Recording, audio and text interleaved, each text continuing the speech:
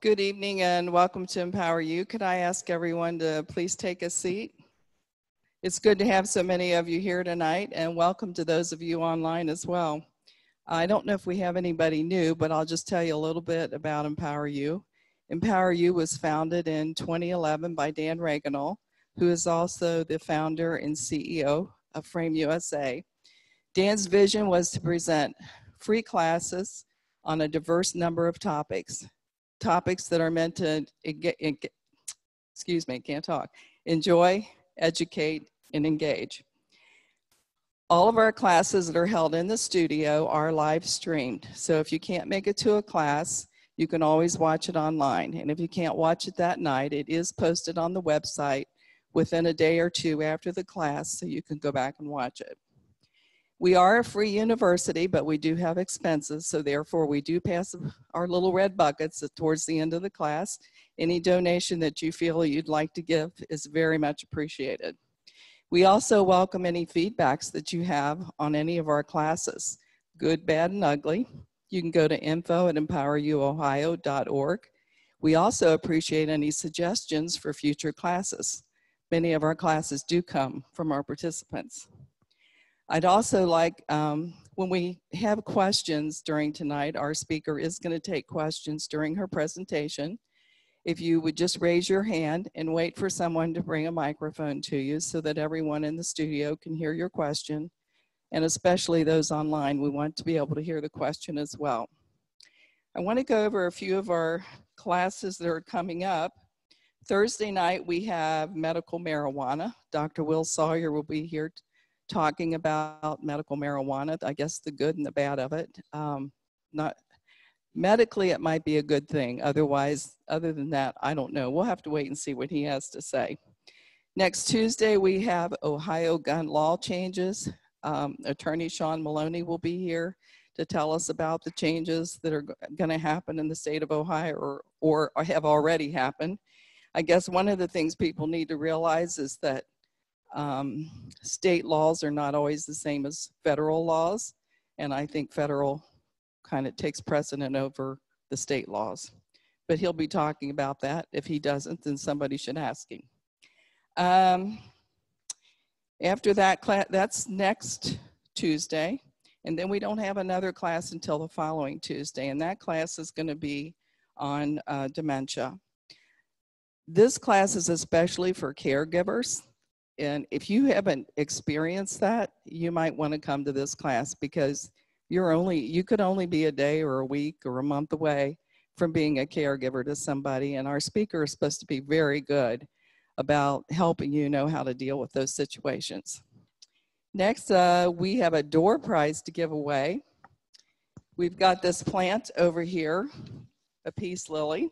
We asked judge russell if she had any ideas what would be a good door prize and she suggested a plant so the the plant is kind of goes with tonight's theme. Um, it's kind of helping women get back into life. It's a new beginning, a new start. So that's what the peace lily represent, represents. And we'll see if the judge can pick a lucky number. It's her fault if you don't win. Number 689 for the plant, number 680, right here. Right here. Let's give her a round of applause. And Nancy Brown. Congratulations, Nancy. And from here, I'll let Dan Regenold take over. Thank you. Let's give our executive director, Betty Overstreet, a round of applause. How's everybody doing tonight? It's good to see you here, and um, it's good to see the Cartiers back for EmpowerU. And is it Leanne? Leanne is here on her spring break. Could you imagine that? Let's give her a round of applause. Spring break, that's a big thing. I know what I would be doing, doing but uh, so I gave you a pass out on this um, on this article timely in the Enquirer. It encapsulates two of our courses that are coming up encapsulates marijuana, hmm. medical marijuana is Thursday night. It encapsulates what happens to your concealed carry permit if you've been prescribed marijuana. So it's, I, I thought, I'd heard about that on the radio, wasn't really up to speed on it. I thought it was pretty interesting. That's why I gave you that pass out tonight. So hopefully Sean Maloney, our great um, um, gun advocate, will be able to explain that to us fully.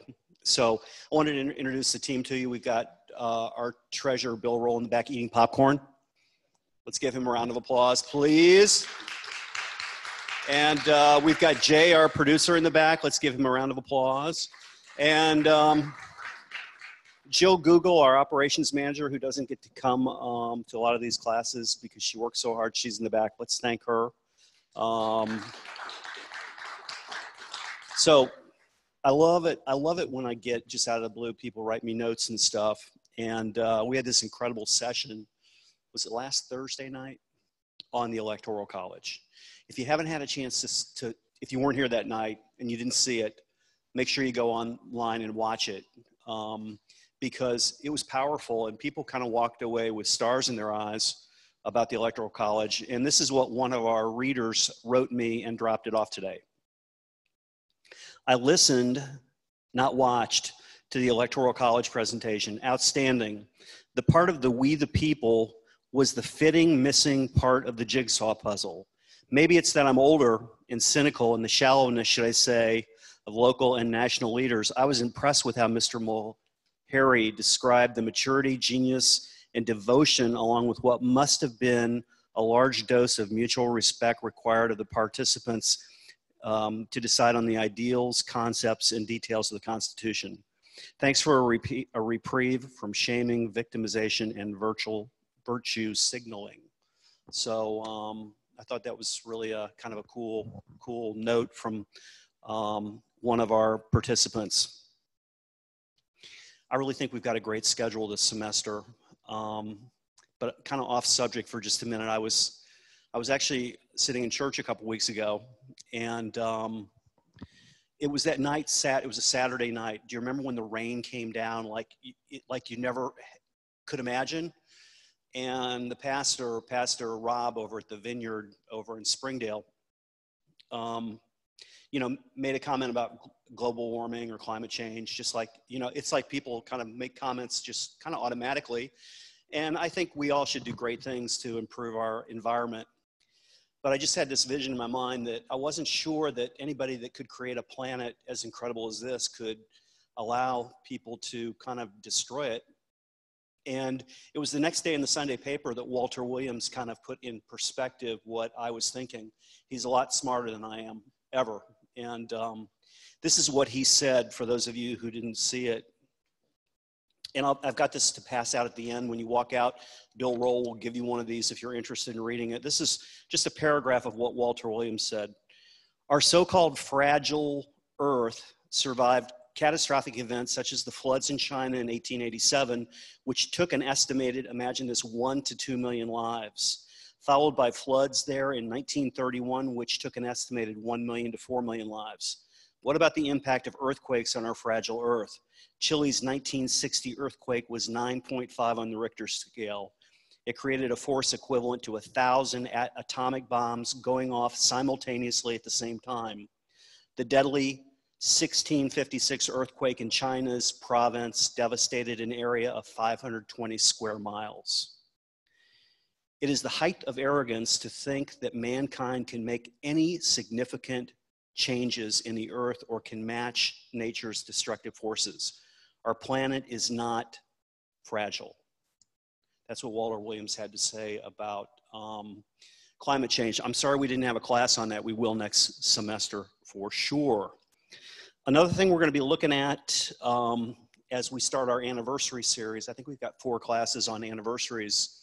The first one of those is on April 15th, Tax Day, and that will be the 10 year anniversary of the Tea Party. And the theme of that session will be um, what did the Tea Party accomplish? What is left to be accomplished? Well, surely the largest thing that the Tea Party didn't accomplish is any significant reduction in our federal debt. Despite how hard so many people tried, really, it's worse than it's ever been under a bunch of Republicans. And uh, we'll be talking about that over the next couple classes to some degree. And I hope to educate you some on the whole federal debt problem. But tonight, what could be more empowering than talking about um, than talking about the subject we're going to talk about tonight with Judge Russell? Let me tell you a little bit about her. She's a 1980 Miami University of Ohio graduate, 1983 University of Cincinnati College of Law, Urban Morgan Institute of International Human Rights Fellow. In 2014, she, it was created and, and she's currently presiding over the Change Court, an Ohio Supreme Court certified specialty court for sex trafficking victims. From 2011 to 2016, Chief Justice O'Connor appointee, oh, she was appointed by Chief Justice O'Connor of the Ohio Supreme Court. She's won all sorts of awards, which uh, are many.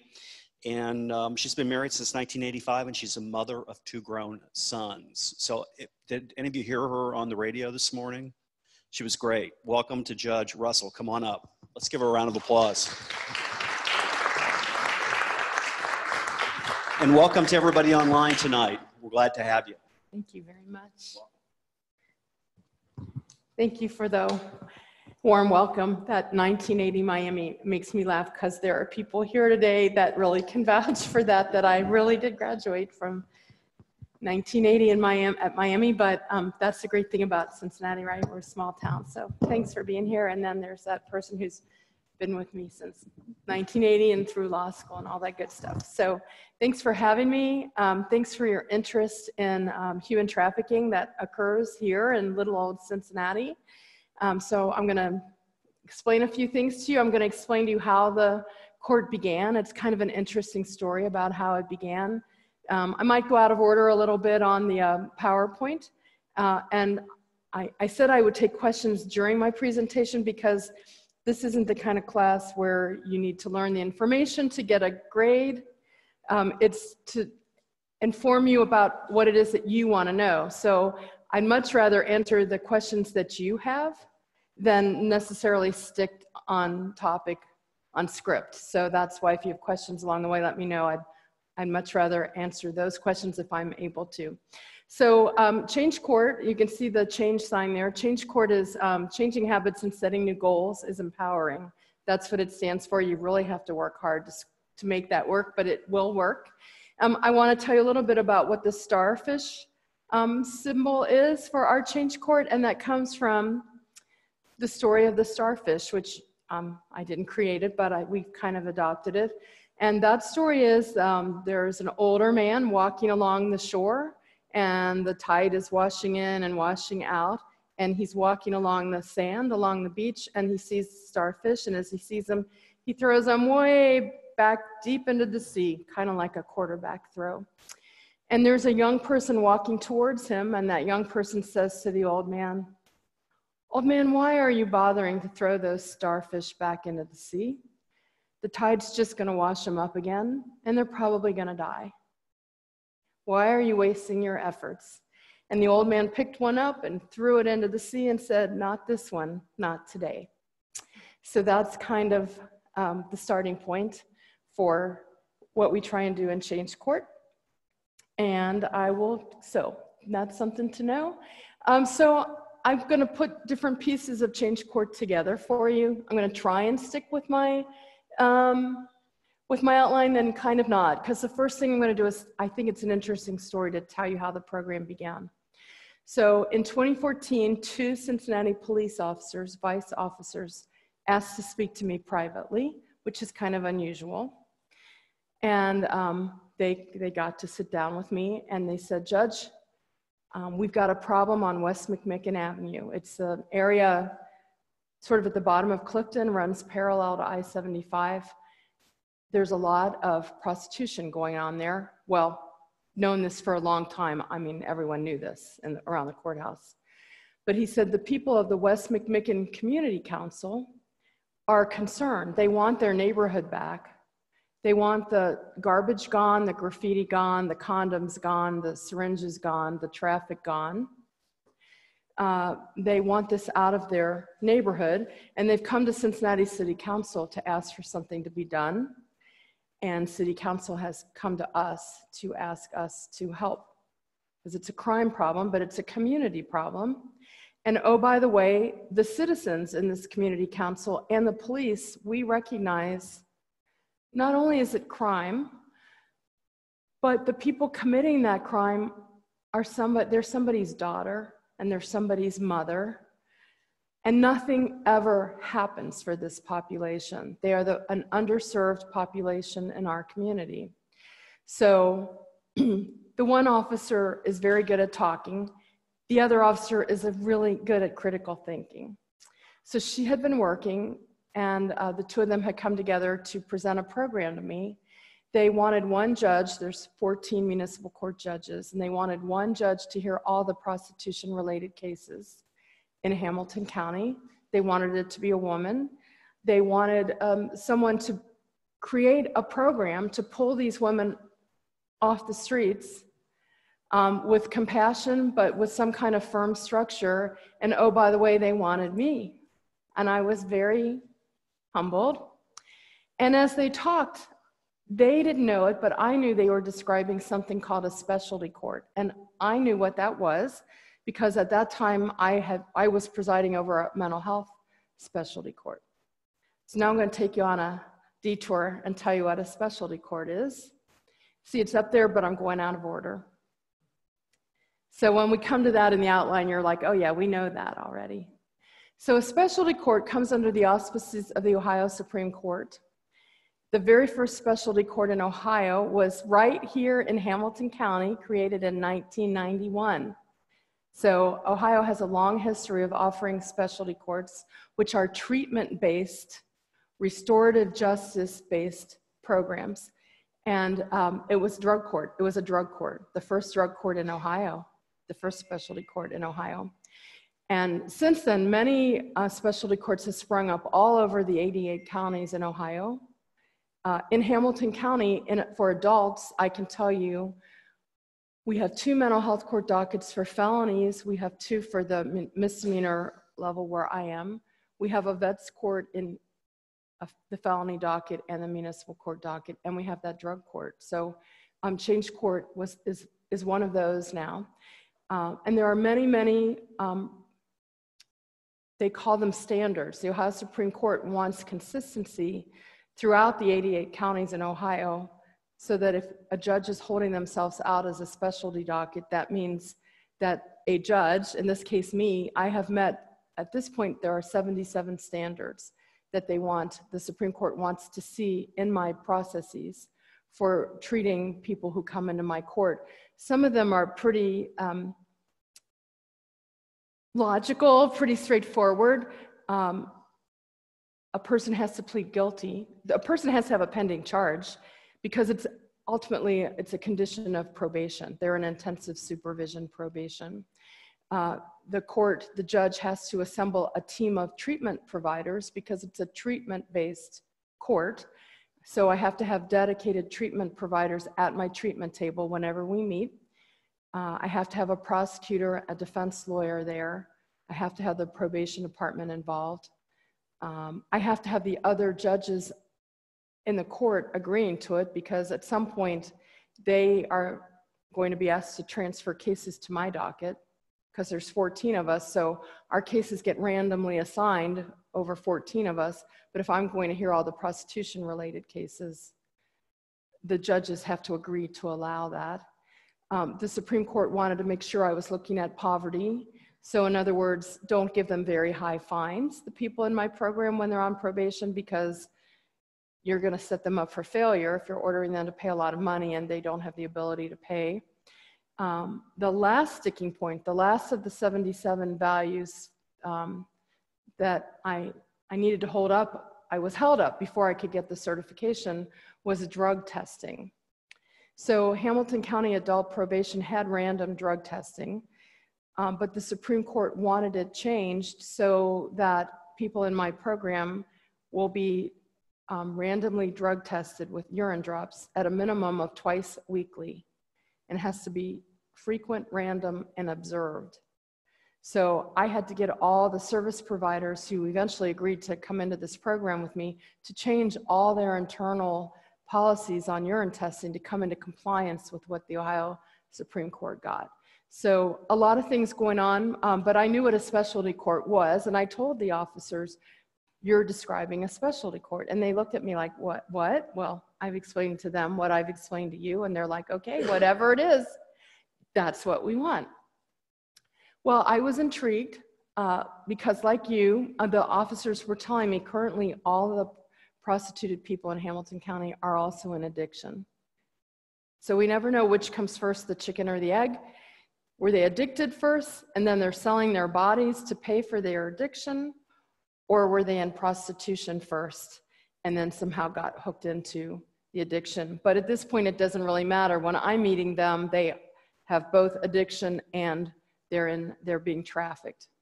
So um, I didn't realize that, but it makes sense. So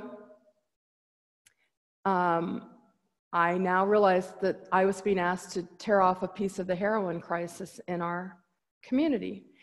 And if you had a chance to do something to help alleviate the heroin crisis in your community, wouldn't you do it? So that's how I felt too. I had never really thought that as a municipal court judge, I could really make a difference in that problem because I'm in municipal court, I deal with the lower level of crimes. So I see domestic violence every day, which I'm very passionate about that issue. That's for another day. Uh, and I deal with DUIs. But if you get a speeding ticket out here and you want to fight that, I could also be the judge hearing that case. So if someone is caught with heroin in their hand, possession of heroin is a felony. But if someone ODs and dies and has to be brought back to life with Narcan, and all they're found with at the scene is the needle, the possession of that needle is a misdemeanor. So I would get those needle charges. But felony judges also have a lot more resources than misdemeanor judges. So I was always frustrated. Well, whether you're charged with a misdemeanor needle or the felony possession, both layers of courts are dealing with heroin. And I'm really frustrated that there's nothing I can do about it. Well, here was my opportunity to do something about it, create a treatment program. So I, I said, I would love to do this. And uh, I went to our court administrator and said, What do you think about a human trafficking specialty docket? Have you ever heard of such a thing? Well, we looked online, and lo and behold, there's a human trafficking specialty court right up the road in Columbus, Franklin County. Judge Paul Herbert, who's actually spoken to EmpowerU probably three or four years ago, because uh, I came and heard him. Uh, so we went up the road several times, those two officers, an administrator type, a person in our probation department who I'd sort of asked to, I kind of volunteered her to help. And we've been up several times up to Columbus and there he was doing it. And we checked the numbers to see if we had a big enough population to do it. And we were off. And that's how Change Court started. I think it's kind of interesting that um, a citizens community group asked for help. The police responded, came to someone they thought would be sympathetic, and we made it happen. Someone asked me the other day, actually a lawyer, well, you have a relatively low success rate in your court. Do you have any pushback from the police? I said, well, your definition of success and mine are different. If you expect a heroin addict who's making her living on her back, who's homeless, who's lost custody of her kids, who has other behavioral issues and mental health issues, and who has suffered trauma from head to toe to get through a two year program of intensive supervision from A to B with no glitches, and then work in your skyscraper overlooking Great American Ballpark, that's not my definition of success. So, for someone to agree to come into this program, that's a huge thing for someone who has no self esteem doesn't trust themselves to follow a program, doesn't trust the system, for that person to say, I, I will try this. I'm tired of living this way. Um, that's a success right there. And every day of sobriety that they have is a success. And as for those police and their, their pushback, we have exceeded their wildest expectations. So let's talk a little bit more about, let's try and follow this a little bit. Um, you should probably know the legal definition of a sex trafficked person. Well, we went through all that. Those are my, my coordinator and my probation officer um, who are just, I couldn't do this program without them. So the Supreme Court actually calls us a drug court plus. So we offer all the services, support services and treatment services that a drug court offers, but that plus is the trauma because every trafficked person has seen trauma. They've been raped, they've been beaten, um, and they were probably in trauma at the point that they entered into prostitution. Because most people who have good self esteem and value are not going to be lured into prostitution in the first place. So the people in my program all have suffered what they call, I'm, I'm not a sociologist, but in their vernacular, it's ACEs, adverse childhood experiences. Um, they've all been molested, usually by the age of 13. Um, they've had no responsible people in their family. Um, they've been out on the street, and um, it's kind of generational. Uh, they, they have not had solid upbringing with any structure in their lives. So, um, trauma, we are a trauma informed court, um, and we are offering cognitive behavioral treatment. Um, so, um, it's a program of two years intensive supervision probation. Um, and it's voluntary. We accept men, women, and trans people. I have had one trans person in the program in five years. That person went AWOL, did not, did not make it, but we would take that person back and anyone else who wants to come into the program. Currently, uh, historically, over five years, other than the one trans, everyone who's wanted the program is female, identifies as female. And it's probably easier at this point, five years into the program, to keep it female, even though I would accept someone who's not female. But when they're talking about trauma in groups and in counseling and in court, I think it's probably more comfortable for women to talk amongst other women. Um, so I'm going to tell you what a sex trafficked person is. I'm going to describe trauma and addiction, and I'm going to put it all together for you because that's what Change Court is. So this is the definition of sex trafficking. Um, no person shall solicit another who is 18 years of age or older, because I only have jurisdiction over adults. It definitely happens to people younger than 18, but they would be in juvenile court. They would not be in my court. To engage in sexual activity for hire. And there's, of course, because we're lawyers, we define everything. So anything, an explicit or implicit agreement to provide sexual activity for anything of value so it could be drugs. It's often drugs. Um, and then loitering to solicit is with purpose to solicit this um, sexual activity for hire. They are beckoning, stopping, attempting to stop another, engaging someone in conversation, stopping someone at a car. Um, so then, of course, because we're lawyers, we define what a car is, what a, a, vehicle is.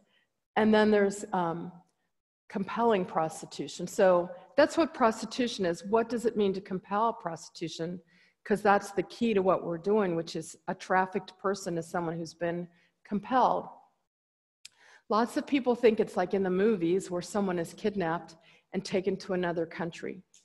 Um, and that does happen, and we've seen it allegedly in the news very recently.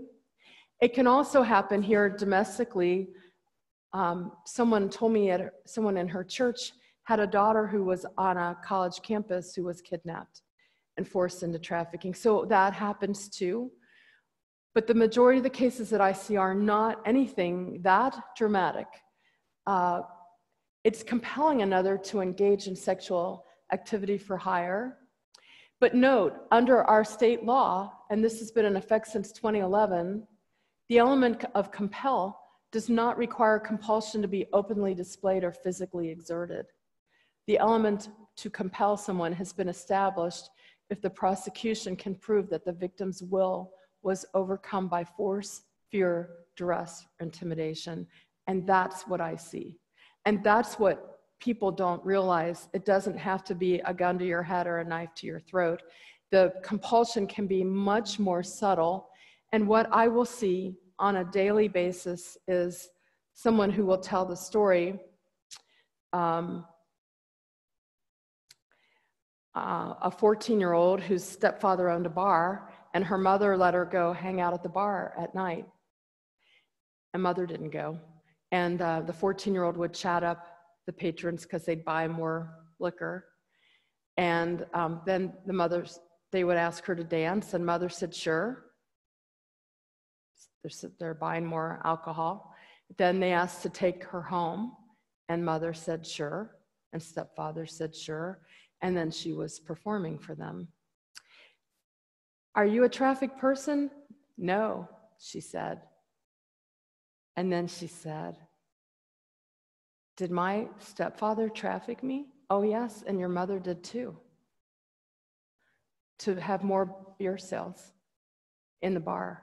She would fit the definition of a trafficked person um, because she was 14, so her will was overborne. She didn't know any better at that age. I mean, no one forced her, no one held a gun to her, uh, but that's how she got started. Over the time that I have known her, that woman has had her leg broken by her traffickers. Um, and she has many, many, many mental health issues. Um, interestingly, that definition of compel is similar uh, to the rape statute in Ohio um, to engage in sexual intercourse by force, threat, or compulsion. So a rape could be that someone's got you in a small room and you have no way to get out. That would be compulsion, or a very big person with a very small person. Um, so it, it can be um, very subtle. And the other thing that I see almost daily is this type of story. My, I was molested by a male family member in my house. Um, no one believed me. They blamed me for it. I was sort of shamed in my house. And that person considered running away. They were out on the streets. Predators can sense that type of person a mile away. If they're in the mall, if they're at the bus station, and a predator will come up to a young person like that who has no self esteem, who literally looks lost, say, Would you like to come for dinner with me? Sure. And they get a nice dinner. Would you like to come home with me tonight? You are beautiful. You are so special. Has anyone ever told you you're special? Well, no, not, not in a long time. And what do I have to go home to anyway? So they go home. Then they spend a couple of nights. They literally get wined and dined as teenagers. The man gives them drugs. They like the drugs. Somewhere down the road there, that man says, Well, honey, someone's got to pay for these drugs and this, these nice dinners. Can you help us? Can you help me pay for this? Some of my friends want to date you. Do you have any problem with a date? They're my friends. They'll treat you well. We'll get money. I can keep you in drugs. I can keep you well fed. Sure, that's what you want me to do and you love me. I'll do anything for you. She's she she was groomed just like a child molester was groomed. She's been groomed. And so she has these dates with his friends. And she gets that kind of Stockholm thing like, he still loves me though. Some nights he lies in bed with me and watches TV with me, just me. I know he loves me. I'm happy. Well, then there comes a day when he sends her out and um, he says, Well, go into this abandoned building downtown, do your business. I'll be right around the corner with a gun and the money. if police come, cause a ruckus so they can chase you so I can get away with the guns and the money. Because if you get caught, you're going to get charged with something like trespass or disorderly conduct. No one's going to keep you in jail. There's no room for you in low level nonviolent offenders in jail. And I'll bail you out if you get locked up. So now she's getting those kind of charges on her record. One day she comes home and the guy says, You haven't brought home enough money yet. You haven't brought home enough money for dinner, and you're responsible for dinner. Go find dinner. So she goes and shoplifts steaks in Kroger's. Now she's got a theft charge on her record. And if she doesn't do it, she gets beaten. And um, these are the stories that I hear. That's the kind of compulsion that I hear. And oh, by the way, now they're hooked on drugs too. So that's the kind of trafficked person that I see. I don't have the foreign people. They have been arrested in Hamilton County. Um, they have been held, and um, judges have given them high bonds to keep them in jail till they can get to me. And somebody comes and posts those really high bonds, and they're gone. Those people are gone to another state. Um, the, the people of foreign foreign nationals, we, we really don't get an opportunity to help them because no matter how high we post, we set a bond for them, somebody comes in and posts it. Um, the women that I see um, to get into the program because it has to be voluntary. They have to tell us, yes, I want, keep me in jail. I don't want to be bonded out. I want to stay to get this help. Uh, so that's the defi- definition of trafficking. And then um, there's more trafficking in persons. So, so trafficking uh, shall knowingly recruit, lure, entice, isolate, harbor, transport, provide, obtain, or maintain another person if the other person knows the other person will be subjected to involuntary servitude or be compelled to engage in sexual activity for hire or in an obscene or sexually oriented or nudity oriented performance. Um, or if the person is less than 16, but I won't see those people under 16. Trafficking in persons is a felony of the first degree. So they are looking at a sentence of 10 to 15 years. Um, I don't, my court would not hear that. That would be in the felony division of the courthouse. To be a trafficked person and to come into change court, there is no requirement that the trafficked person testify against their trafficker. So it's kind of a hybrid thing. A person charged with prostitution or theft that we know is a prostitute, they're a criminal, right? They've committed a crime in Ohio, but I'm treating them like a victim a trafficked victim. So it's kind of a hybrid. They're a defendant, but they're a victim too. And I put many conditions of probation on them, but testifying against their trafficker is never going to be a requirement. So there is the definition of sexual activity for hire. Um, that, that last slide uh, was interesting. Someone, not all the judges in Hamilton County, uh, that my 13 colleagues voted to approve change court. There were several that did not vote for it. Uh, they did not feel we had human trafficking in Hamilton County. That's Hamilton County. Those are uh, trafficked women. This was actually a, a sheriff's deputy. His wife was charged with trafficking in Hamilton County. Um, this one might, that might have been in Butler County, I'm not sure. Um, but there, those are people charged with trafficking. That woman trafficked her daughter for heroin. She sold her daughter for sex for heroin. Um, people always want statistics. Um, 2017, the Ohio Human Trafficking Commission documented 208 potential trafficking victims. Ohio consistently has the fourth highest volume of human trafficking. And that comes from the National Human Trafficking Hotline. There's a website you can go to, Polaris, and you will see that there. Part of that is because of the highways, the interstate highways coming through Ohio. Um, part of it might, might be because it, it, more of it's reported here.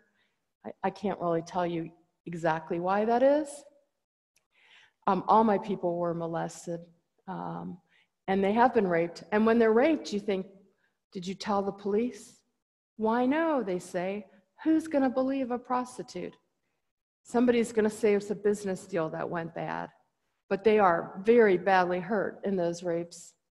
And some have traumatic brain injury. I am told, we have a psychologist, a UC psychologist in our treatment team.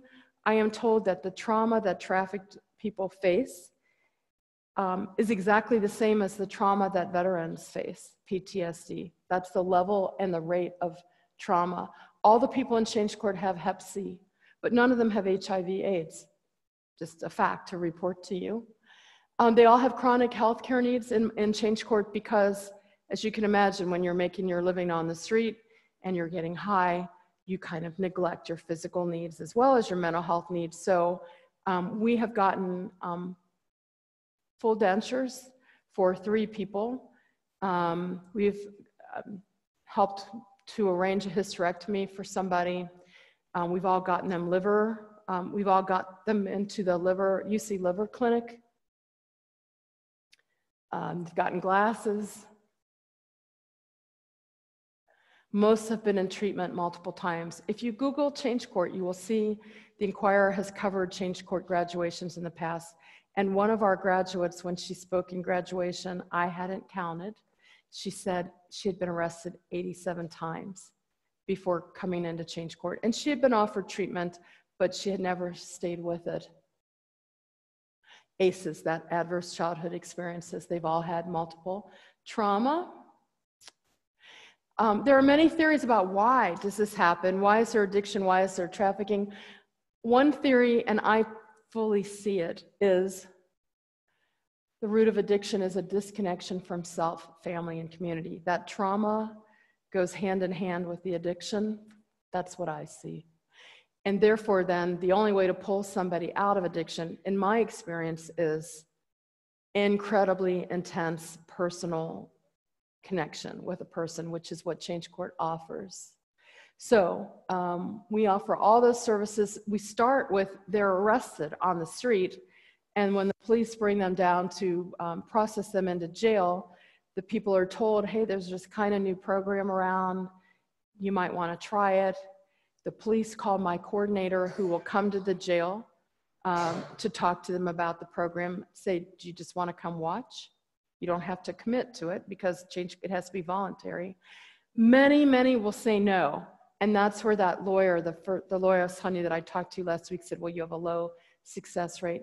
Many people will say no thanks because we're actually asking them while they're in, in withdrawal.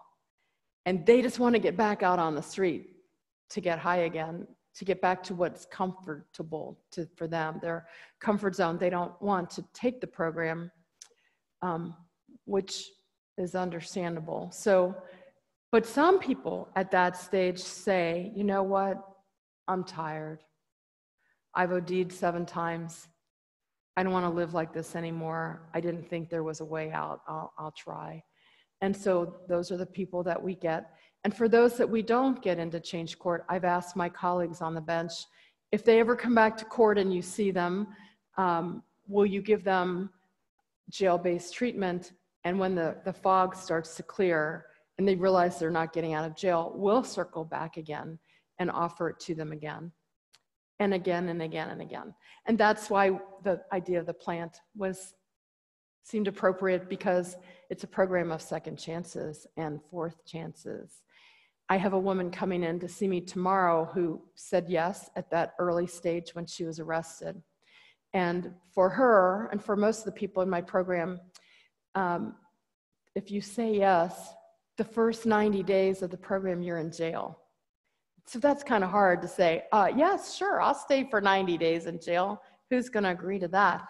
But when they're in jail, they're in jail based treatment. There's a separate building called, we call it 1617 Reading Road, but it's run by Talbert House, which is the biggest name in Southwest Ohio for treatment. So they're in a jail facility, but they are getting nine to five groups all day long. And then at night, they're journaling. They can have visitors all under the jail guidelines. So they are in treatment. Several purposes for that. First is because if they tell me yes, they want help, and I let them out of jail, come back and we'll get you connected, they don't come back because the addiction pulls them back out into their bad habits. And they will say to me, don't let me out. I can't do this if you let me out. So that's one reason. The second reason is because all the treatment facilities that I partner with, if you go look at them, um, they are um, Chaney Allen, the Chaney Allen Crossroads program, First Step Home for Women and Children, and Off the Streets. If you look at their individual programs, they'll all say requirements to come into our program, you have to be stable mentally and physically stable. They will not take someone going through detox. So I have to get them detoxed before I can get them into any one of the residential treatment programs. And they're working with a case manager from Talbert House. So um, that program is 90 ish days. And then the last thing that's going on in those 90 days is I'm making a reservation for them in one of those treatment facilities because those treatment facilities are full all the time. So I have to say, can you hold a bed? We'll be needing a bed June 2nd. Can you hold one for me? And that's how I, I can get them a bed. Then they're never going to be homeless again. They're never going to be sleeping on the streets because um, my treatment team will meet them at the jailhouse door and drive them to their facility. So they're never going to be homeless again. So it's very intensive. Once they are outside um, in those treatment facilities, they're in groups, they're in individual sessions, and we have the, uh, the psychologist who's meeting with them. If they want medical, medically assisted treatment known as MAT, uh, we will get that for them. it's usually Vivitrol in my program. Vivitrol actually blocks our brain receptors so that humans do not crave heroin when they're on Vivitrol. So methadone and Suboxone are substitutes. Vivitrol just totally blocks your craving for it. And it's administered by a shot in your butt. And its, shelf life is about 30 days. So we have now gotten ourselves um, coordinated enough that if someone wants that program while they're doing that 90 days in jail, the jail nurses will come over and draw those people's blood to make sure that their liver can tolerate the Vivitrol. And we will coordinate that shot for them the day or two before they're going to get released and driven to their treatment program. So then we have a 30 day window before they need their next shot. So when they walk out of jail, they're not craving heroin the minute they walk out. Um, that's voluntary. If they don't want Vivitrol, they don't have to. I'm, I'm not forcing meds on them, but if they want that, we can make that happen. Medicaid pays for that. Um, if they don't have Medicaid, private insurance will offer it at the cost of $1,500 a month. Um, there is an, um, I have to tell you this because I'm afraid I'll forget. One of the people in my program, she's living with her mother. I have to put a shout out to JTM Meats. The Moss family is incredibly giving to our community over on the west side, and they offer second chance reentry positions to many people coming out of incarceration and out of poverty. And one of my participants got a job there as a temp, and she was steady enough in her employment that they offered her full time employment, and she works at night. And she's making enough money that she's completely off government assistance. And that is a first for me I've been around the courthouse in one form or another for 34 years. And to my knowledge, that is the first person that I've ever placed on probation who came into probation on government benefits and while on probation worked her way out of government benefits because I've seen it with my own eyes now. I'm not an economist, but I've seen it with my own eyes that the people who in their later phases of change, they are working. We get them working and we get them housing, but they're very careful not to work over a certain amount of hours or make a certain over a certain amount of salary because they'll lose their benefits. And what happens? They are working more and taking home less. Where's the incentive for them to work? But this is a young woman now who's done it. We, we pushed her over the hurdle. Um, the one sticking point was that Vivitrol shot because now she's not eligible for Medicaid. So $1,500 a month for that Vivitrol. But what we found, um, what my team knew, because I didn't know, is the active ingredient in Vivitrol is something called naltrexone, and that is available by pill um, for $30 a month. So we've got her switched from the Vivitrol shot at $1,500 to the naltrexone pill for $30 and she's making it. She was hoping to go car shopping this weekend. So to me, I'm, I, I'm so happy for her. Um, so, but we, we work very intensively. My probation officer and my coordinator are, are seeing them. Someone on my team is touching those people, whether they're in residential treatment and they're in groups or they're in individual sessions in their treatment facilities, or they're seeing the psychologist up at UC, um, or my, my coordinator and probation officer are taking them out for a meal or taking them to a doctor's appointment. We are seeing them every day. That's the level of intensity it takes to build up their self esteem, their mental health, their physical health, to get them ready to go out into the real world So talk about trauma a little bit. It's real. that, You know, you have we have changes in our brains when we go through trauma, uh, and whenever someone is engaging in behavior that I don't understand in my treatment team, I just say, I know they're seeing th- these events through a trauma lens, and I can't see what they're seeing. I mean, so it needs to be explained to me what's going on, but often someone will seem lazy to me. They don't want to get out of bed, they're depressed, they're making excuses for not getting up and going somewhere. And I always know it's trauma, and the experts have to explain to me what it is. So there's a definition of trauma. This was put together for me, um, I believe, by Dr. James Canfield, who's another psychologist up at UC. Um, it can be a single experience or it can be chronic exposure. Trauma is fairly common, but if it's not treated, it has long, long lasting um, impacts. These are all things that cause trauma. People don't often think of it that witnessing violence can, can be a basis for trauma, and we were talking about that this evening before the program began. Um, you can have secondary trauma actually. So I'm very aware with my treatment team that when we're hearing these awful stories that these participants have gone through, it's traumatic for us to hear it too. And we, sometimes we just, we need to process what we've heard too. Um, in domestic violence, a lot of my, these women are the same women, they've been victims of domestic violence by their trafficker as well. But I can always see, I'm always willing to see that a trafficker, as bad a person as they may be, or a batterer, they're probably a victim of trauma too. Because this type of behavior is not normal for us. It's learned behavior. Just like I eat Thanksgiving turkey, I eat turkey, it's a learned behavior. And violence is learned too. We're not born being violent, right?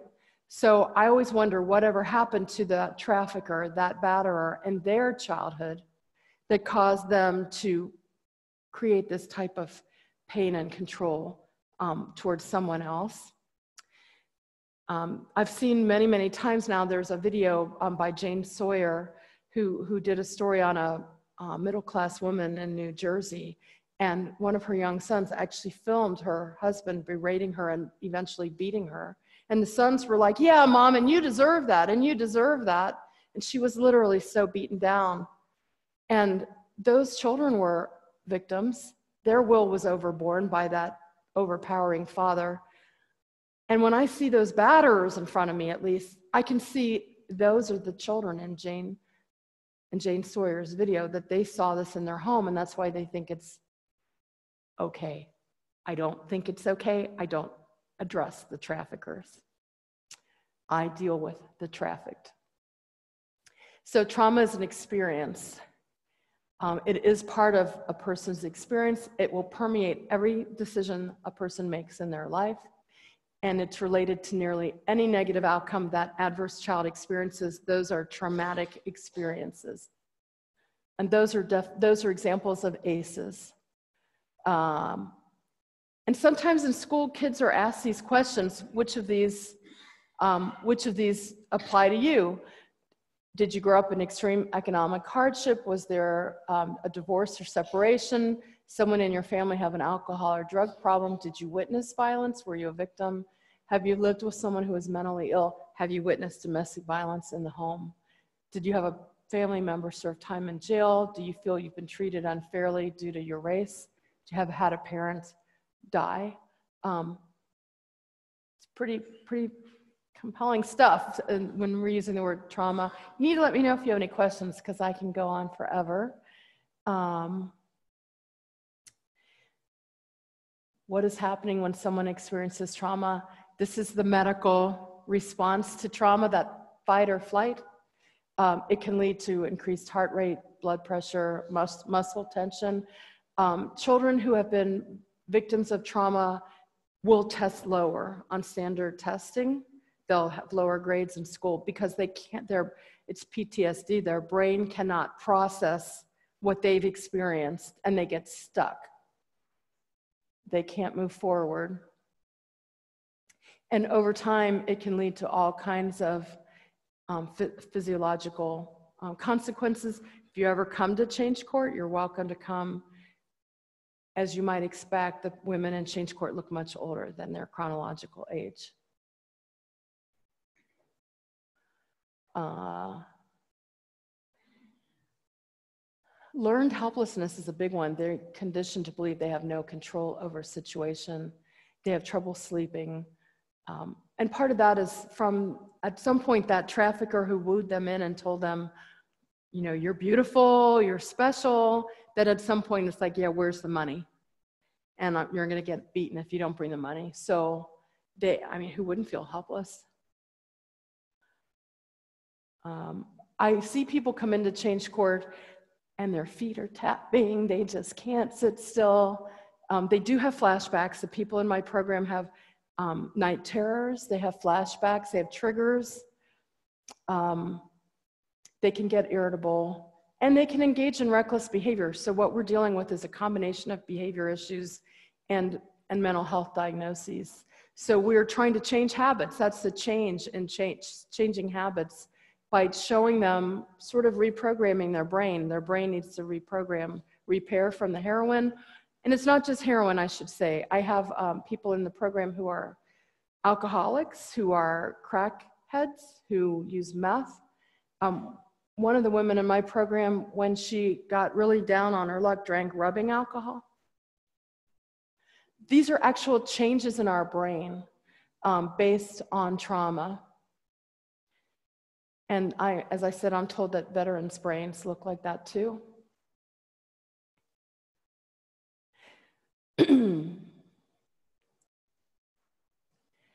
so we have all, all these things going on. You can imagine it's a really needy group to work, work with. Um, takes a lot of patience because they will do things that don't make sense to me, but for some reason make sense to them because I have to remember they are they have been living their lives on the street. What they call survival to us looks a lot like manipulation. So sometimes it looks like they're playing one against the other. They're playing the team, the treatment team against the other. They're telling us slightly different things. Well, I mean, they survived on the street in that manner. So it takes a while to teach them something new. Um, some of them have traumatic brain injury. So this is what we need to worry about. This, this um, slide is in there because this program was originally, this presentation was originally created for mentors. Um, and um, that's one of the most recent pieces of Change Court. So I've got them coming in, I've got them in treatment, uh, everything's going well. Then when they get close to graduating, in the, so Change Court is actually in four phases, which is another Supreme Court requirement. So the first phase is very, very intense. They are in jail, most of them. Uh, and then I'm seeing them every week. And no, you can't go to work, and you've got to slow down. We got a lot of things to work on with you. But by the fourth semester of the program, I'm looking to get them out of the treatment program, treatment facilities, and into their own housing and their own jobs to pay for their own housing. And um, so we found as we try and give them more and more freedom, which is what they're working for, and they really think they want, they get scared that we're not in this tight wraparound thing watching their every move anymore. They get kind of scared. So, but we need to push them out of the nest. So we finally, in the last year, were able to create a mentoring program. They all have sponsors in AA or NA, but a mentor is someone who's never been in addiction or recovery, just a person because when I ask my participants, go make healthy relationships, well, they don't know how to do that. They've never had them, not in their family. Um, everyone they meet is either in recovery or in addiction. Are we supposed to go out to the mall with a sign, Will you be my friend? So we brought those healthy relationships to them. We advertised for mentors. And so now we have mentors who just an extra person to hold their hand. So to model for them what a healthy relationship looks like because they don't know.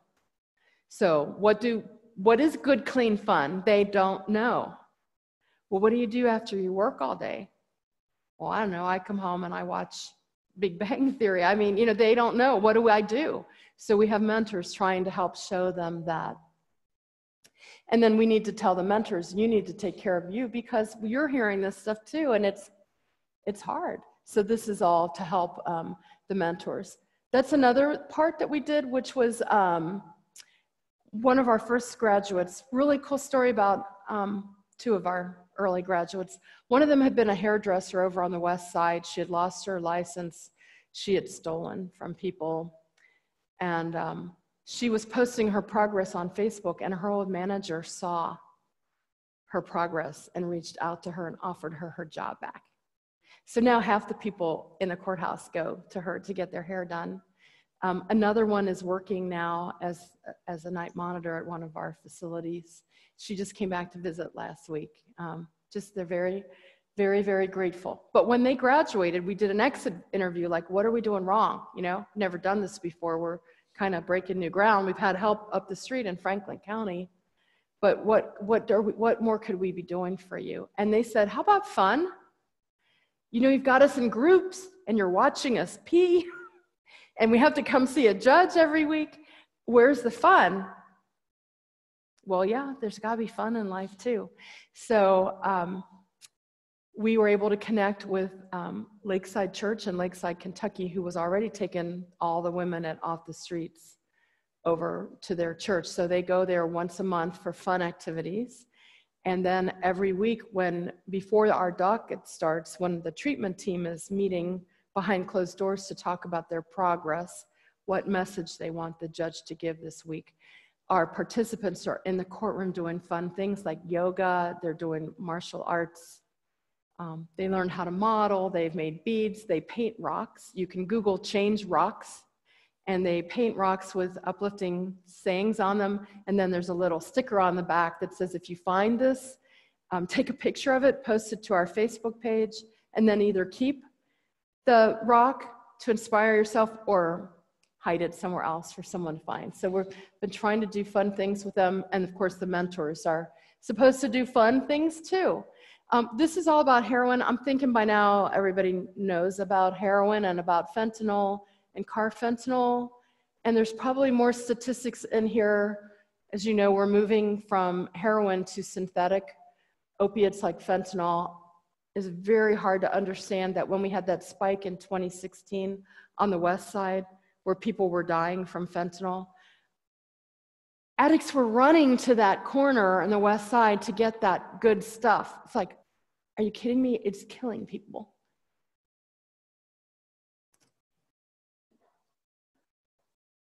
Um, this is from Dr. Sammarco's website. I was trying to get you the most recent statistics I could. Um, 15 babies born to heroin addicted mothers in the week of July 10th to July 16th, 2017. I can take women who are pregnant and in addiction. There's a, we have a really good program. I did not have anything to do with it. I just plugged in called the HOPE program, which is a program at Good Sam, which is our high risk um, hospital here, high risk pregnancies, and First Step Home, so that a heroin addicted mother um, they'll give her methadone so the baby doesn't go through withdrawal.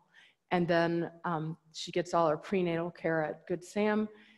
The baby will be born addicted, and um, the baby will go through withdrawal in the hospital. And if the woman is, you know, depending on another court, not me, she may or may not get custody of her baby. But should she be allowed to have custody of her baby, she would be at First Step Home for Women and Children. I can, I can house that. I have had pregnant women in my program, when they're in jail, they've been unable to do the jail-based, Talbert House jail-based treatment program because they're taken out of jail up to the UC area every day for methadone. So they're missing too much of the program to be in the jail-based program. They're just in general population. But I will keep them in jail to get that methadone every day till the baby's born. Um, Narcan, um, naloxone, um, a lot of people have really, you know, mixed feelings about that, but you're saving someone's life. And um, a firefighter once said, I judge, if I have to make three OD runs with Narcan, I shouldn't have to go back a fourth time. That person shouldn't be allowed to live. I don't know how you feel about that. That doesn't seem a moral answer. That person is still someone's loved one.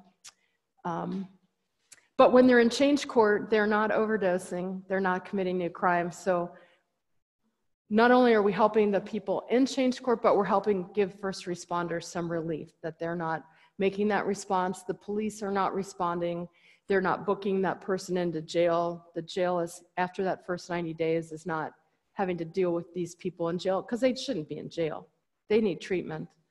Um, so um, there's a medically, medically assisted treatment that I told you about, Vivitrol.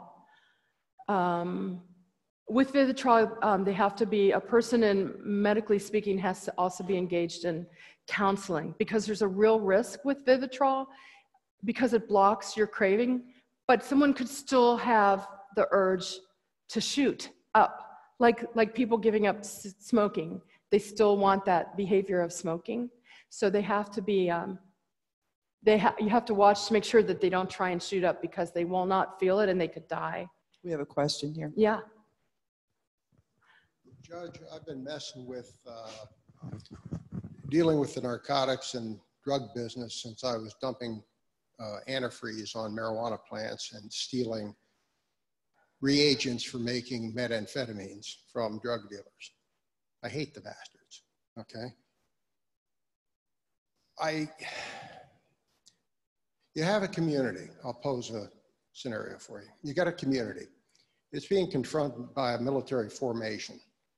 This military formation has men with small arms.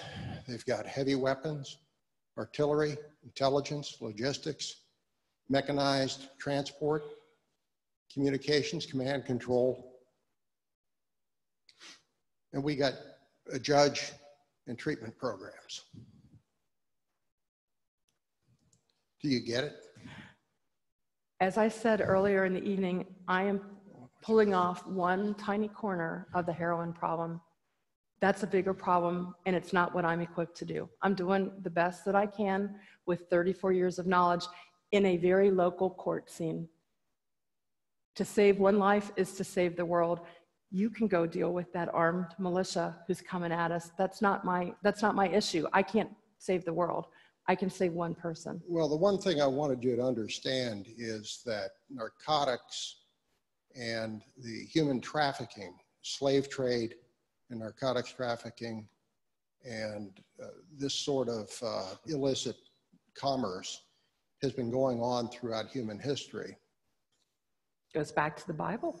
But state sponsorship of this, are you familiar with an article in the really radical publication called Naval Proceedings?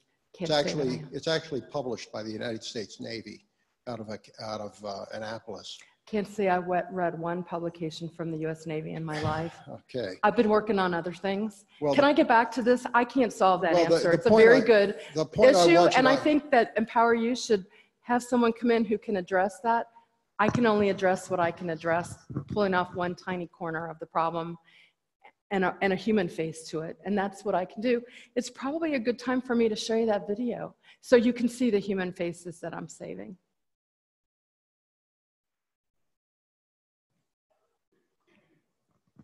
Can you take a question while he's Oh, doing that? sure, yeah. I think I kind of missed it in the beginning, Judge, but when did you, how long is the program from start to It's finish? two years. It is. And Okay, there's a that's what I reason thought you for said two that. years.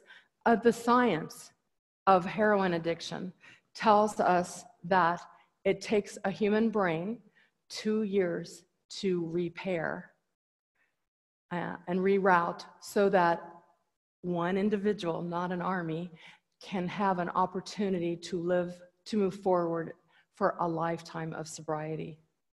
That's the reason for the two years.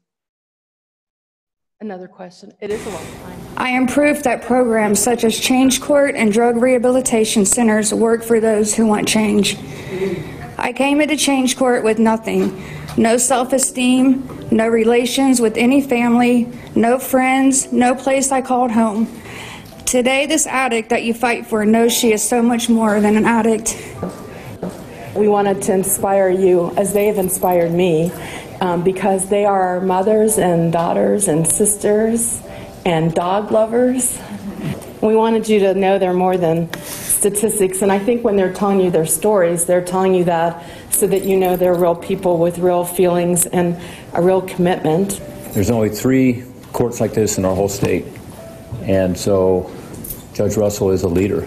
I'm a big supporter of what you're doing here because I think it's clearly more successful than the alternative. I've learned many things through Change Court, but most importantly, I learned how to live and not just exist. I can honestly say that today, because of Change Court, I'm not only a productive member of society, but I want to be a productive member. I wanted to say, first of all, I'm grateful for Judge Russell for giving me the second chance at life. I got a great relationship with my mom and my two kids, and I never thought I would have that, and I do.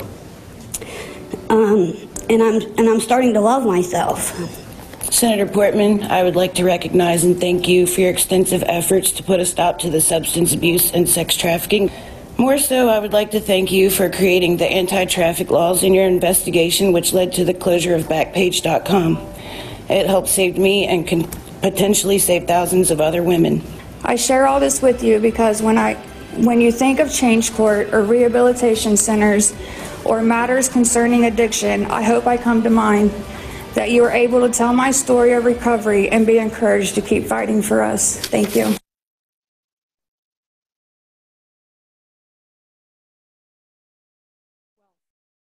I've been asked um, when I came here, would it be possible to bring any of your uh, participants with you? And I don't like to do that to them. I don't like to parade them out like circus animals. Um, so this is the easiest way to do it. Um, that little snippet came, Senator Portman is very involved in the anti-human trafficking movement. He might be a good one. He might read the naval publications for you. Um, more, more involved with um, national mat matters of national import. Um, but he, he wanted to see them, and so their prompt when they spoke to him was, tell them about you as people so that he wants to keep fighting for you. And that's what it was. So it's my chance for me to show you the face of a trafficked person in Hamilton County. Um, and so that's all that is to show you what they, what they look like. Um, they're beautiful. I can tell you about any one of them if you want to know. One of them was that person who drank rubbing alcohol in her lowest moment. Um, one of them I don't think had her teeth yet. She's got them now. She's got a beautiful smile. Uh, the one who thanked Senator Portman for shutting down Backpage, she's the one off government benefits. Um, the, the first one who spoke, um, she's actually in the program coming up on three years. It's a two year program. How did she do that? Did she have a relapse? Because I, I will take them back. Uh, no, she's not relapsed once. She can't find affordable housing. Uh, she works full time at a fast food restaurant and was saving money. We were working with her on her budget. See, I'm working on local budgets. and um, she had a couple of setbacks. Uh, without telling us, she bought a car. So now we know do not buy a car without us making sure you can afford it, just like at home. Huh? so, and um, but she had to pay off the car, so she got a little bit behind in saving. Her brother uh, is a vet, and uh, right before Thanksgiving committed suicide. She's from Boone County, Kentucky, and she now is a Sunday school teacher.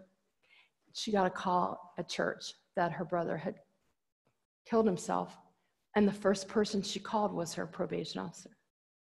That's who she. That's how enmeshed, entrenched, if you will, with them we are um, for, for support. And then she wanted to do something at Christmas to honor her brother. Well, then her sister is in the Kentucky penitentiary for drugs. And in Kentucky, they will allow you to come to your family's funeral if the family pays for the transport.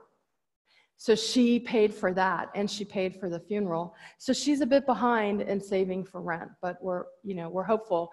And we, of course, now realize well, now we know why you were with us for an extra year, so that you were with us when this happened, so that we could be with you to support you through this. So Yeah, but- she's able to see it that way. We have a couple of questions.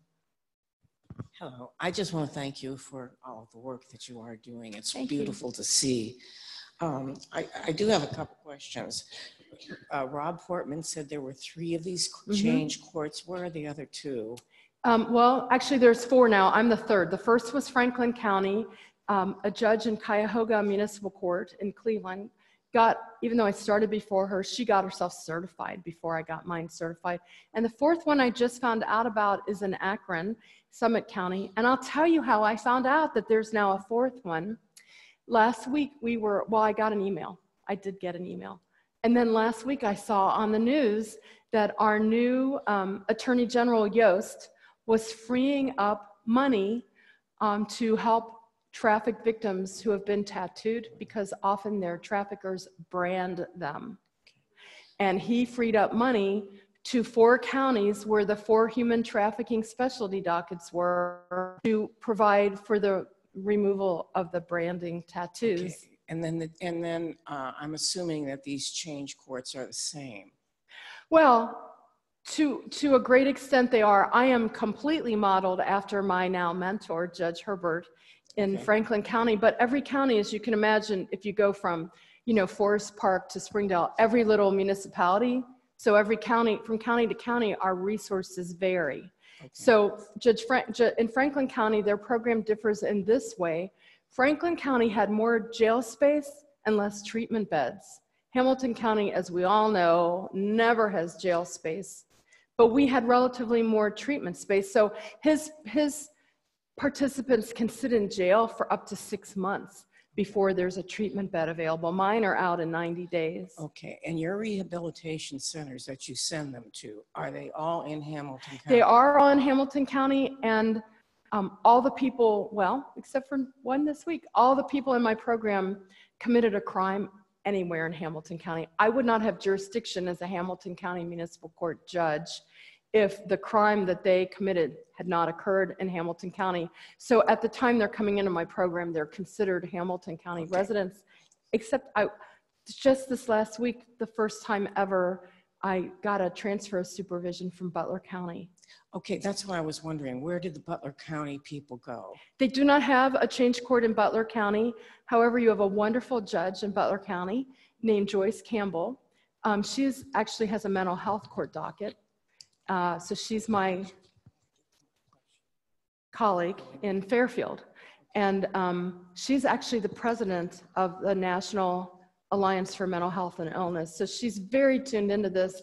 And we got word that there was a, a person sitting in her jail, the victim of- who had shoplifted at Kohl's. I'm sorry, this is, this is really my original question, and I don't know exactly how to ask this. I am aware that there's a possibility at least one rehabilitation center whose owners or or proprietors uh, have another purpose other than to rehabilitate back into the community, Mhm. but more in, back into, or into their community. Is that a possibility? And, and are you aware of that? And it, So you're sort of saying bad people? Is that what, is that what I'm hearing? They're, I'm they are in a people with bad, ulterior yes. motives, not necessarily bad. I'm very people. much aware of that going on in Florida. That there are treatment facilities who, and you can go online and find it, that, um, you know, families are trying to do the right thing and they're sending um, family addicts down to Florida. And it's a huge money-making thing and they're not being helped at all. I'm not aware of Ohio, but, you know, there's good and bad people everywhere. But I know Florida has got a bad reputation for that.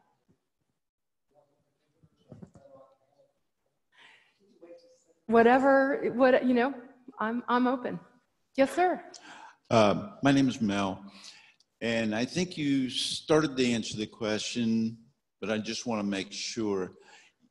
Under certain circumstances, you can assist or take over cases from surrounding counties. Is that what I'm understanding? Just for the very first time, having started this program five years ago, the same police that asked me to start this program called me up. I should not take their calls anymore. They called me up and said, Judge, we got a call from a woman sitting in Butler County Jail on Fairfield Municipal Judge Campbell's sentence for shoplifting. She's told the jailers out there, please, please don't let me out early, and I don't want to there's stuff still pending. But could we help her? Uh, Well, I know Judge Campbell and I know her heart. I will ask. And she allowed me, so it's the first time that I've transferred supervision from a, a judge, an out-of-county judge. But I will tell you, um, one of my, uh, she's in that film. Um, I have a woman who came into my court with a domestic violence charge against her sister. Well, you're never thinking of prostitution with a domestic violence charge against your sister. But I sent her for a court clinic evaluation just to see what would make her allegedly slash at her sister with a knife, because most healthy people don't do that. And the, the doctor, the court clinic doctor, called me and said, Judge, she's describing dancing and being in an escort service. Would that qualify? Yes, under our definition of Ohio's definition of, of being trafficked, it would. And she came into the program. Well, once we took her into the program, you know, people don't always, they're a little bit protective of themselves. They don't know what to share. She says, We didn't run a record. Now we know. Run their out of state, run their out of county record before you take them in to see if there's something else pending. She had a pending felony drug charge in Butler County Common Pleas Court. So I contacted um, Judge Pater and said, Here's, she sits with me in treatment. Um, she wants to turn herself in on your open warrant and she wants to stay in treatment here. What do you think? And he said, if she shows up, if you can get her to my court in Hamilton uh, in the morning, um, I will recall the warrant. I'll give her no R bond. And he eventually gave her treatment in lieu of conviction, the treatment being you have to stay in change court for a year. Now, my program's two years, but he only required her to verify that she was in ongoing treatment for a year. And he told her, if you do that, um, the charge will be dismissed. So I have been able to work with Butler County that way. I've had extremely good fortune with um, Northern Kentucky judges, where a lot of my people had open warrants. We found out they had open warrants. Same thing, getting those judges to recall the warrant. Just recall the warrant. They want to come and turn themselves in. They'll take your sentence. Please take it into consideration, this intense supervision we're getting them. Um, but you know, that's part of someone in addiction going through a 12 step program to make amends. They want to get this behind them and take responsibility. I wish I knew his name because I'd give him a shout out. But a judge in Northern Kentucky said, Yes, I'll recall the warrant. Yes, I'll give her an OR bond. Is she really doing that well? Okay. And, he- and he dismissed the charges. He said, Will you give this to her like a diploma? Okay. And the next part of my question is too long for you to answer here. I understand that. But what more do you need in the arsenal? Decent housing. Um, when they graduate from my program, I'm able to expunge their records, so they don't have that, that as an obstacle.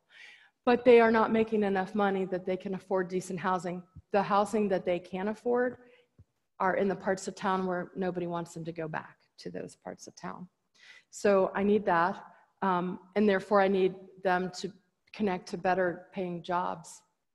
But the trend is growing in Hamilton County of corporations giving these people second chances, which is again the reason for the plant. So New Life, they're being given second chances. Not enough, um, but I they need better job opportunities so that I can get them really decent housing because they, oh my gosh, two year commitment. It's a huge commitment for someone who has coming to me with nothing, not even trust in themselves. And when they make it through my program, you know, they deserve something nice. So that's what we're still looking for. That's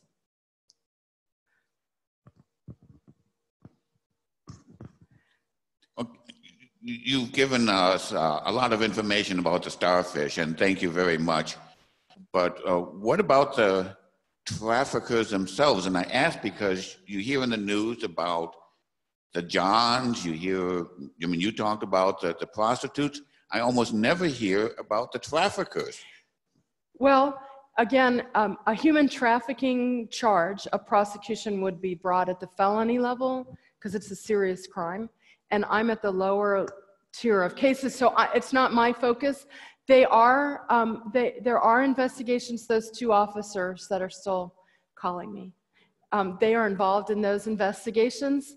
Um, and as you can imagine, um, trafficked people are reluctant to come to court to testify against the people that hurt them.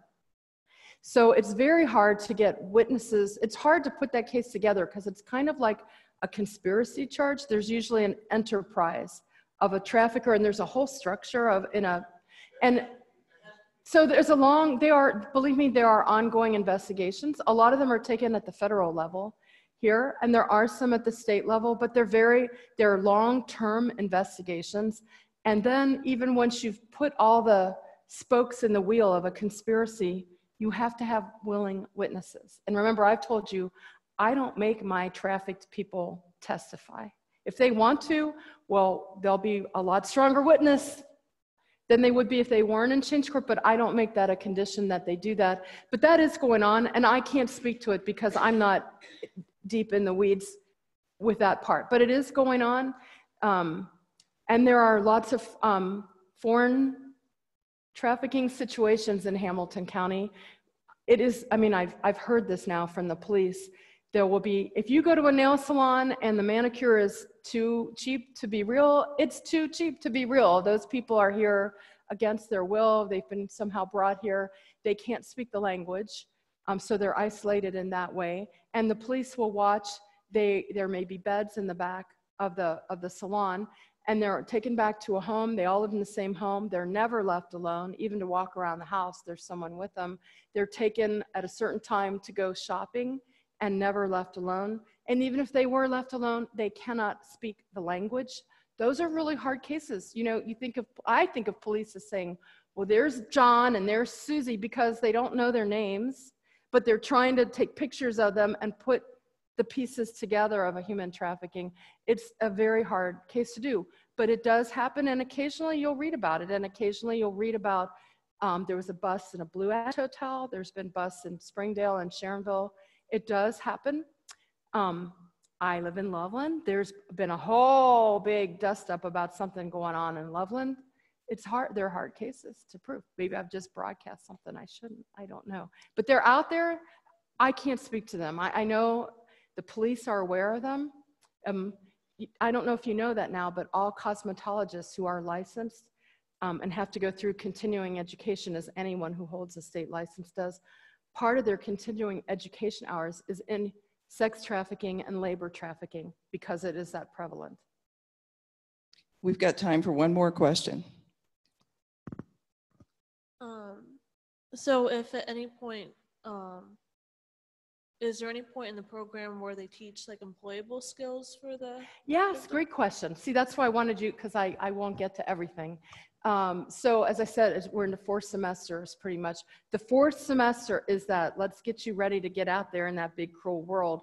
And um, we have great um, services in Hamilton County. There's something called City Links um, which is down in the West End. And I just had a young woman go through City Links in the last two weeks, a job readiness training program where she learns hard skills and soft skills like people skills. So she learns how to deal with her own trauma if she's working somewhere and somebody looks at her funny or somebody says something to her she doesn't like, so she doesn't explode. So she's getting that kind of job training. They do interviews with her, they do kind of like American Idol um, job interviews with her and she was offered her first job. Listen to what it is it's working three days a week picking up trash on the highways for $50 a day. And she is over the moon thrilled. And she said, I'm ready to start Monday. And I'm like, hold on, you always want things faster than I'm willing to give it. You cannot put your work ahead of your sobriety. When are you going to get to your group meetings? When are you going to get to your individual meetings? When are you going to get up to UC to Dr. Espinola? let's make sure you're fitting those in. And we did.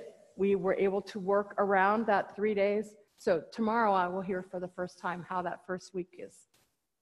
But they do, we've also, we were connected, um, the YWCA had a, pro, a program with CityLinks called First Course, front of the house, offered at the Duke Convention Center, where they learned um, food service skills. And it's a nine week program. It was offered four hours a day, twice a week for nine weeks. And at the end of the program, they have to take a test and then they get a certification like the one you get from Cincinnati State, from that really great culinary school we have at Cincinnati State, which will be recognized by any restaurant in the area. Um, we had people working there from Via Vite. We have people there at Starbucks. Um, they learned how to set a table. They learned how to serve. They learned how to hostess. Um, we had a bit of a bump with them when they had to learn wine tasting and beer because they knew they couldn't they couldn't do that. But they had to they were tested on it and they they got through it. They didn't taste it, but they had to learn about it. So we do have um, good job training opportunities. A lot of them don't even have a high school diploma. So we've had them going through GED. Um, one of the women up here just um, is connecting to the, it's called 22, I think, 20, the 22 plus program, which for us is offered at Dohn Community High School up towards downtown, where she will go back and get her transcript from Taylor High School, which is where she was. And then all she has left to do is they will teach, they will work her towards the missing credits from her high school. So she'll actually have a diploma, not a GED. So we're working on very much job and education training because I'm trying to set them up for life. You know, a heroin addict, if I put them on probation for four months, some of them could do that standing on their head and say, Yay, I'm success. What have I taught them to go forward for the rest of their lives? So we are trying to teach them those skills that they can stay sober. We have, um, we have a lawyer from um, Legal Aid and one from Ohio Justice and Policy who are working on federal grants to help victims of human trafficking with their civil issues. So they may owe child support, they may have arrearages on their phone bill or utility bill, they may have lost custody of their children, and those people can help them say, I've done this tremendous program. Can I have visitation with my kids? One of them, one of the women in that program, she's one of my graduates, she now has custody of her kids back. Uh, so we're, we, we offer all that other stuff. Once we get through, like, let's keep you alive till tomorrow and get you a place to sleep tonight. In the fourth semester, we are working on those things. I hate to bring this class to an end. Do you have any final thoughts that you want to Um, give? You know, I wish I did. If I, let me see if there's anything else. Thank you for your interest. I can't, you know, um, we're doing the best we can. I think, I think this program uh, shows there are a lot of good people out there trying to help. A lot of us, like me, thought, what can I do? This problem is huge. Um, so this is one personal response uh, to a program. There's a lot of people out there that want to help. Uh, and, you know, what can you do? So housing, um, jobs, always looking for mentors, um, not necessarily a plug, but we're always looking for people who say, how can I help? I can't, you know, I don't have a lot of these skills, but um, the mentoring program is big. Um, I, I'm trying to send a message, something good happening for these people who have been overlooked for a long time. I can't solve all the world's problems. I can't personally stop the, the importation, the importing of fentanyl, um, but I can, I can save a life today, and, and that's enough for me. So thanks. Yeah.